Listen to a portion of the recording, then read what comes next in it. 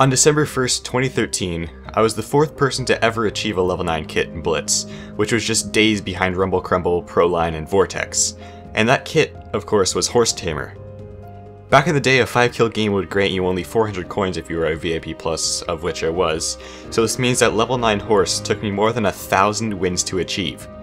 Now, if you compare that number to now, a 5 kill game could grant you up to 2000 coins if all the boosters were up and you were 5 times. Times have changed. I quit playing Blitz back in January of 2014 when I was at 100k out of the 1 million coins. I played that game like hell and then started playing a lot of Mega Walls because that was the new great thing at the time.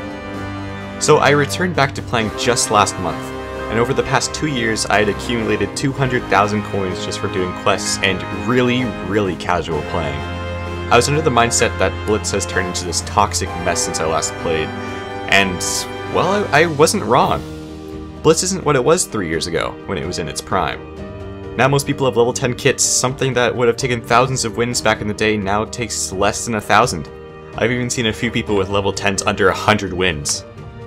When I checked how many coins I had and then compared it to other people with similar stats as me, it turns out that I only had like a third of the coins I would have had if I got all my coins in this new economy.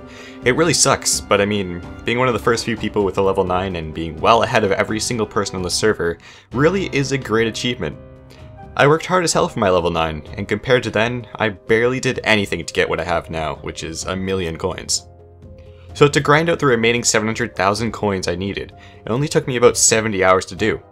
It's really not that hard anymore, and compare this to then, it would have taken many, many more hours, like double the amount of hours, triple, maybe. But now after I get this level 10, I will be able to get wins even easier because most of the level 10 players now aren't even good at the game. They would only kill you because of their superior gear and their ability to two-hit you with their iron sword. So yeah, enough talking about the good old days, 2013 is far in the past, and of course the time is now. It is time for me to complete the two and a half year grind for my horse Ted. Okay. Uh, I think I'll I think I'll get I'll get it now.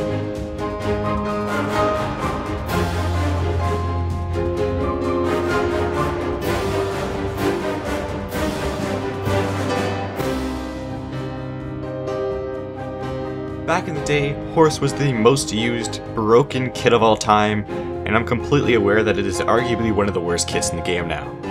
I bought it to complete this two year journey, and now I guess I'll be playing the first game as a level 10 abuser. And I probably won't touch Blitz for another long period of time, but who knows. So yeah, let's get into that live gameplay. Alright, so it's been a couple hours since I, uh, since I unlocked Horse Tamer 10. I just really haven't felt like playing at all. And um, I, I know some people usually get like kit hype where they get level 10. I, I don't have kit hype. I, I don't.